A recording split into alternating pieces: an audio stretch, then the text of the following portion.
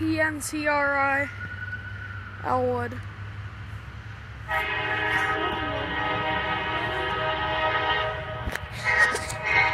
It's snowing in Naples. So this is pretty cool.